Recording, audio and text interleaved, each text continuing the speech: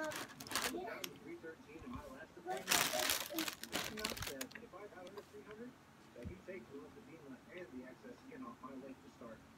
So I'm really hoping I'm where I need to be to be able to move ahead and do that.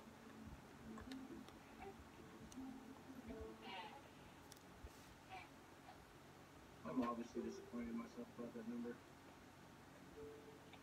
I thought my weight loss might have slowed, but I wasn't expecting a small gain like that.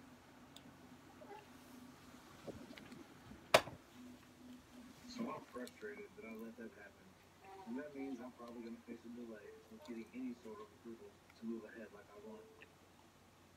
So I'm not happy about that, but I have no one to blame but myself because I let it happen, and I know that going forward, I need to do better. Where's that spotted? No, hello, Harry. I'm alright, I'm doing okay. Hey, I'm doing good. Alright, so for example, the, we in the wrong direction this time. You gained 14 pounds in two months instead of getting rid of 200. So why is that? Uh, you know, I don't know, my life has got more, more hectic.